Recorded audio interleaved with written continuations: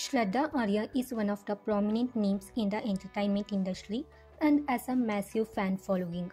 The actress has maintained an active social media presence and often keeps her fans updated regarding her whereabouts. The actress has been part of the daily soap Kundali Bhagya for 5 years now and her character is loved by the viewers.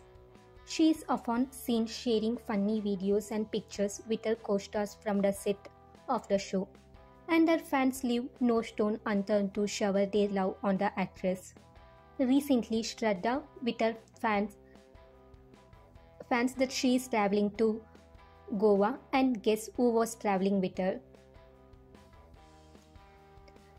Taking to her Instagram handle, Shraddha shared a selfie with Malayalam superstar Mohanlal as they were traveling to Kerala. Sharing the selfie, the actress wrote, Flying to God's own country, hashtag Kerala.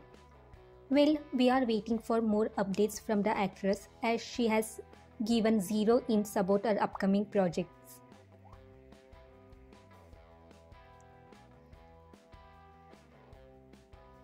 Talking about her personal life, Shraddha is married to Indian Navy officer Rahul Nagpal after dating for a year and they got engaged in November 13 followed by their wedding on November 19. On the professional front, Shraddha is all set to make her Bollywood debut with Karan Johar's next directorial Rocky Aur Rani Ki Prem Kahani.